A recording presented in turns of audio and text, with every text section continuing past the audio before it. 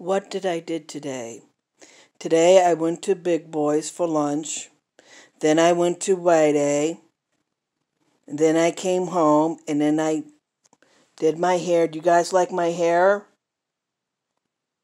I really like it. It's red. I just love my hair.